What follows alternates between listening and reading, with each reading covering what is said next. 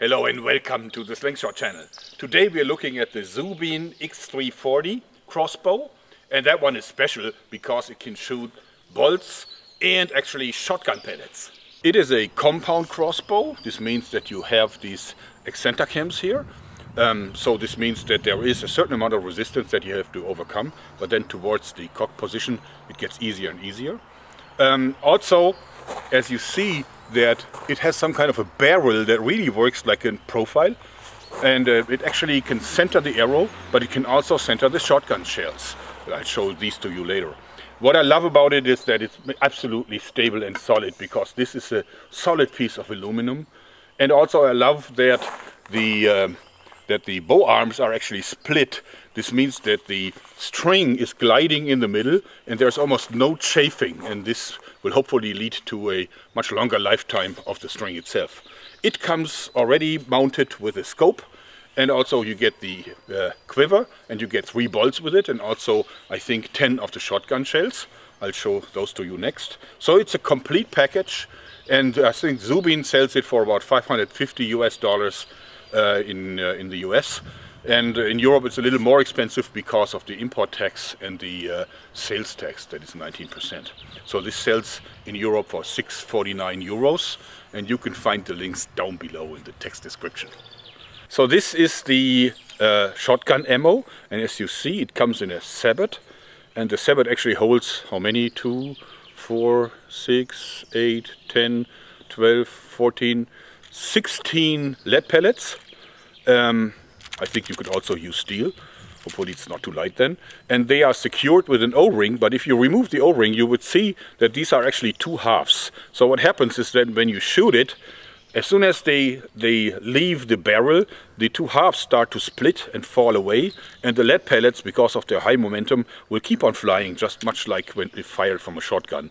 Not with the same speed, but considerably highly energetic. So inserting this thing is much like an arrow. First you usually have to cock the crossbow and then as you see it fits perfectly well into the guide here and uh, so before you insert it obviously you remove the o-ring uh, and then it will held together by the entire barrel system. In order to cock this thing they give you this rope cocking aid which is quite common, it has two hooks here and um, this makes it possible even for a little boy or a little girl to cock this thing although I don't recommend that you give a dangerous weapon like this one to minors. In any case, this makes it super easy to cock it. This works super easy. You simply put the weapon down, put your foot in the stirrup, then you hook in these two little hooks and then you pull up.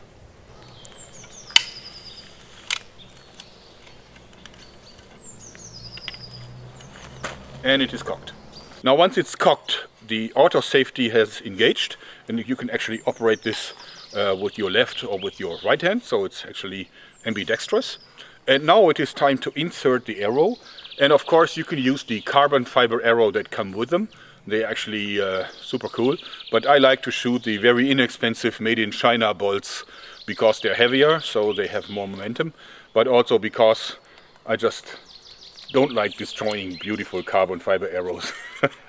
and what I like is that these glide in by themselves and they automatically press against the string and which means that um, now I can disengage the safety and fire away.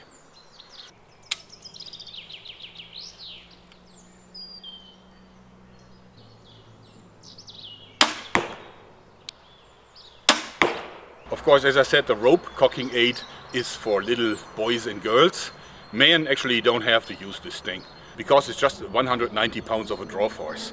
So it's ridiculous. Every man should be able to simply press it against the chest and then pull it back like this. That's way quicker, wouldn't you agree?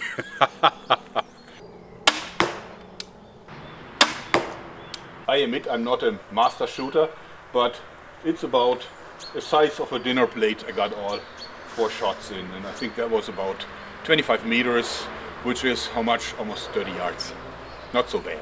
As you see, it shoots hard enough to uh, punch through the entire archery mat, and it's a double layered one. Not bad. Okay, let's shoot it over the chrony to find out how fast the arrow flies. And first we, we try one of the cheap aluminum arrows. Okay, those were 301.9 feet per second. Now I'm shooting one of the carbon arrows that they supply with the weapon. Okay, those were 330.4 feet per second, a lot faster than the aluminum arrow. Now we're putting in one of the shot shells and I've already removed the O-ring. And what I like is that you can simply let them drop in, so there's no need to just use an arrow to, uh, to put some pressure behind them. So this was 348.3 feet per second. Okay, and of course we need to know what these little lead pellets can do to ballistic gelatin.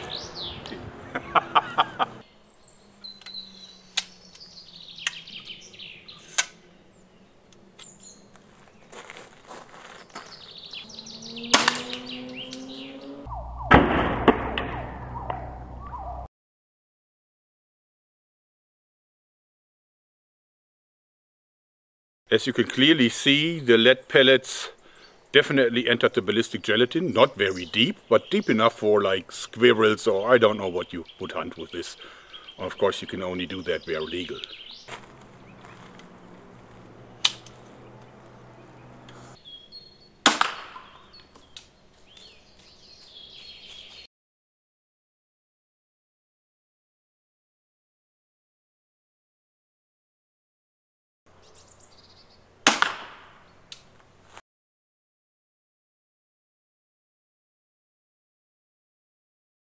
Of course, it's quite clear that the arrows are the far more lethal ammunition for this crossbow. But I like this pellet function, I really do. and as you see, one hit a little bit higher, so it split the gelatin open, and the other one hit it right in the center here. And still, the penetration is spectacular. This is Rolfi, our latest team member. He's just 10 weeks old, and he will be big.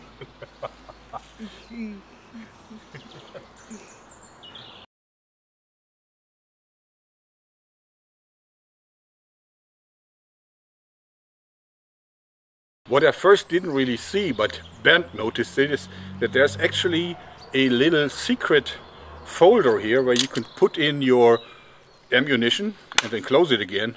So you always have your ammo right with this. You have the arrows and you have the pellets. So the Zubin X340, what do I think of it?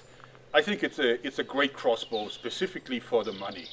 It is well made, it is very sturdy, it has the really unique feature that it also shoots pellets um, and um, the price is sensational if you uh, keep in mind that you get a full package. So I can really recommend it. Okay, I hope you like this because that's it for today.